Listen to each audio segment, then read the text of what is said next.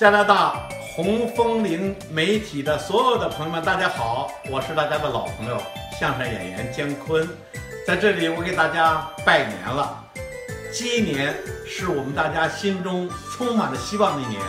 大家送走了金猴迎来了金鸡这是一个金光闪闪的时代。我希望所有的朋友们都在鸡年走上金光大道。